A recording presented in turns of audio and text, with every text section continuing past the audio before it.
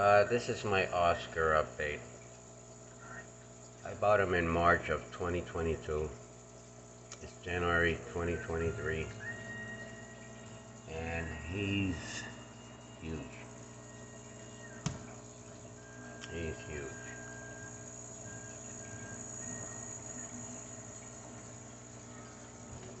Looking good.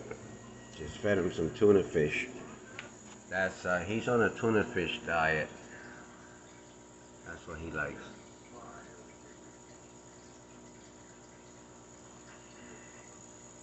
Yeah, a little algae in the glass.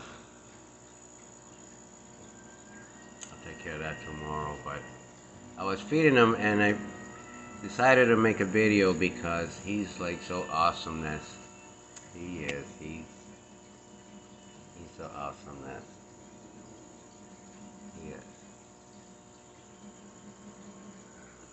He's he's in a 45 gallon uh, bow face tank.